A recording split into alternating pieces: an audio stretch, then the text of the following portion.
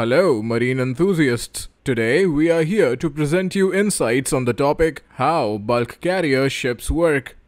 Bulk carriers are an essential part of an economy as each ship can carry an immense amount of cargo. A Cape-size bulk carrier that is the largest bulk carrier can alone transport 2 to 4 million tons of cargo. These vessels are designed to transport large quantities of dry, unpackaged cargo, such as raw materials, grains, chemicals, commodities, etc.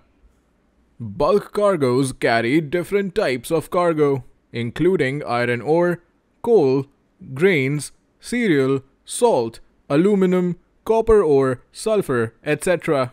Many of these items are used to make items which we use in our everyday lives. Such ships are different in design and orientation as compared to other types of ships. Bulk carriers are specifically designed with multiple large open cargo holds. These holes can vary in size and shape depending on the ship's design. To protect the cargo from elements such as rain or seawater, Bulk carriers are equipped with hatch covers. These covers can be of different types. However, their basic function is to seal the cargo holds. These vessels may have onboard equipment like cranes, grapples, or conveyor system to facilitate cargo loading and unloading. Bulk carrier ships starts or ends their voyage in a port a bulk port is an essential link to the global trade for export and import of goods carried in bulk form. Depending on the geography and industry type, bulk ports are developed to supply and receive the required raw material. There can be a bulk port specializing in grains that handle enormous volumes of wheat, corn, soybean, and other agricultural products. Or there can be bulk ports dealing with minerals and ores, which are essential for the mining and metallurgy industries. Bulk cargo ports are equipped with specialized machinery, including conveyor system, cranes, and grabs, designed for efficient loading and unloading of bulk cargo from ships. These ports have expansive storage areas, often featuring massive silos, warehouses, and stockyards to temporarily hold bulk commodities before distribution.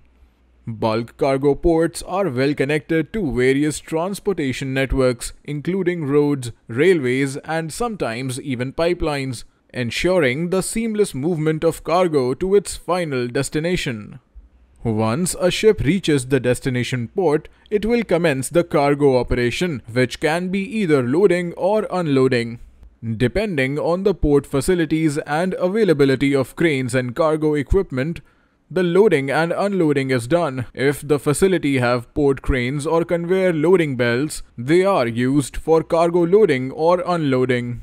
If the port does not have such equipment, usually bulk carrier ships equipment can be used which are often cranes with grabs. The port can also use backhoe loaders JCB for assisting in the unloading of the bulk goods by lowering them into the cargo hold. The unloaded bulk cargo in the port is then transported to its warehouse or suppliers using road or rail transport. Bulk commodities serve as raw materials for various industries, including manufacturing, energy production, construction, and agriculture, depending on the cargo type.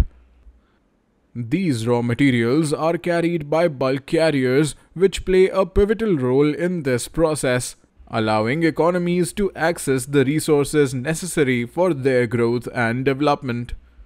If you found this video informative, Please do subscribe to our YouTube channel and press that notification bell for more exciting maritime content.